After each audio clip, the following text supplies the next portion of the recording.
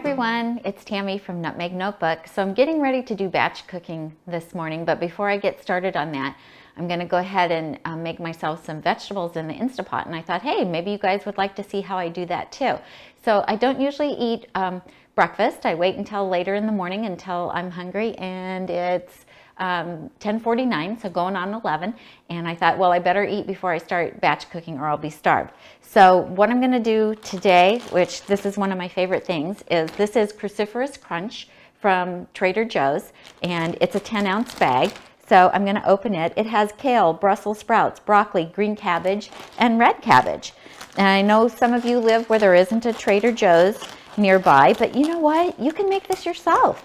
So, or, or check at your uh, health food store or your grocery store or Costco to see what kind of bagged greens they have. So I'm gonna just um, open this up, toss it in to the Instant Pot. Then I have some of these uh, fire roasted uh, peppers and onions from uh, Trader Joe's also. It's, um, oh, this one doesn't have onions. This is just red, yellow, and green um, peppers. And so I'm gonna put a little bit of this in. I usually prefer to buy organic, but Trader Joe's didn't have these in organic, so I went ahead and bought the conventionally grown ones, but um, peppers are on the Dirty Dozen list for pesticides, so I try not to have them too often. Um, no, it does have onions. Okay, don't listen to me, you guys. I can't read the bag today. So I'm going to put about maybe half the bag in there. Then I have these dehydrated uh, mushrooms. We keep these on hand all the time. I actually buy these at Costco and um, they're really nice to have when you don't have any fresh mushrooms. And I do have fresh mushrooms, but I kind of like the flavor of these in this. So I'm gonna put a couple handfuls of those in because they add a lot of flavor and texture. They're kind of chewy, so they slow down the eating process. Then this is just two and a half cups of water that I'm going to add. Put that in there. Then we're going to put the lid on. Now you always want to make sure that you have the little um, venting seal pushed back for sealing because we want it to come up to pressure. And I don't like my vegetables to be too overcooked. I don't like them limpy. So I like them a little more al dente. So what I'm going to do is push manual and then I'm going to adjust the time using the minus. and I'm actually going to do it for zero minutes. Did you know you could do zero minutes on the Instant Pot? And that's all I have to do. Now, it'll take it a few minutes to come up to pressure. And when it comes up to pressure, then it'll, um, that tells me that it's it's going to start um, heating up. So when it comes up to pressure, it'll also, it'll beep at me. And since I have zero minutes on there, at that time, I'm going to release the pressure. And when that happens, I'll show you what I do next. Okay, it's been about 10 minutes since I set the Instant Pot with my vegetables in it and it just beeped at me. So I know that it reached pressure. So, and the little um, button is elevated. So I know that it's at high pressure. So I'm going to go ahead and release the pressure. And this handy little 45 degree angle is great if you have the Instant Pot sitting underneath your cabinet and you want to redirect the way that the um, pressure release steam is going.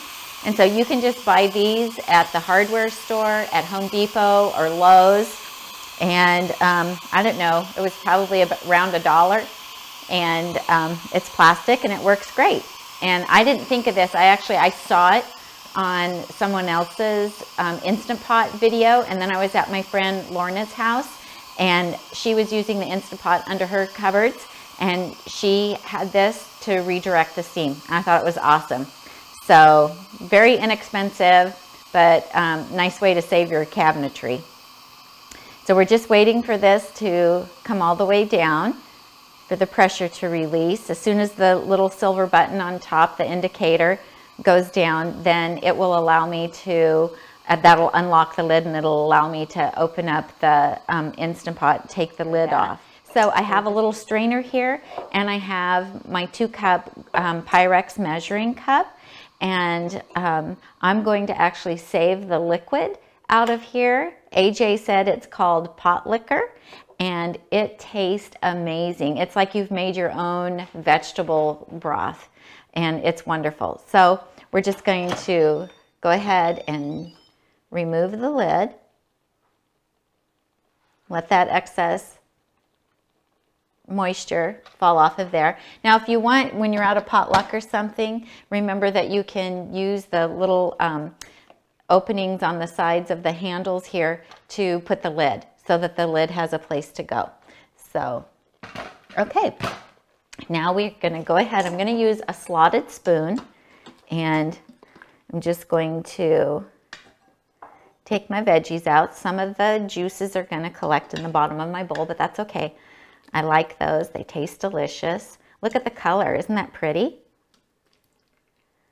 So we've got the onions, the peppers, those um, dried mushrooms have hydrated now and they're going to be chewy and flavorful. And I start my day in a savory way. I always start with um, some kind of savory vegetables. And then if I'm still hungry, I'll move on to starch or fruit. But this helps with um, your uh, cravings because you don't start with something sweet. It, it helps you keep your blood sugar stable and you don't get a dip and you don't get cravings. So it's a really good way to get in some vegetables into your day. Okay, so there I have that. And I've just got a little bit left in here. I'm going to go ahead and this is actually an Instant Pot little pot holder and I love these. I'll, I'll link to them down below. So now I'm just going to pour the broth out through the strainer into my measuring cup. I don't want to lose any of that. I'm going to, this automatically, the Instant Pot automatically goes to warm when it gets done. So I need to shut that off so it doesn't keep going. I'm going to dump those little bit of veggies into my bowl because I don't want to um, waste them. And then this I will pour into a cup and I will drink it. And so I have this little insulated cup that I'm going to pour the pot liquor into. And it has a really wonderful flavor. It's got that mushrooms flavor in there, so it's a little earthy. It tastes salty, even though there's no salt in it whatsoever. Um, and Tom and I will fight over that because it's so delicious. Sometimes he makes vegetables just so he can have the pot liquor. Now this is one of my favorite vinegars. This is Napa Valley Naturals Grand Reserve and it's only 4% acidity, which regular balsamic vinegar is 6%. And so this is really mild and it's thick and syrupy and kind of sweet. And I just love it. And I've been using it a lot on my salads instead of salad dressing. So I like to just pour a little bit of this on to my greens because it gives it a really nice flavor. So there you go. Vegetables steamed perfectly in the Instant Pot and two cups of pot liquor. It's a good start to the day. Thanks you guys. Talk to you later. Bye-bye.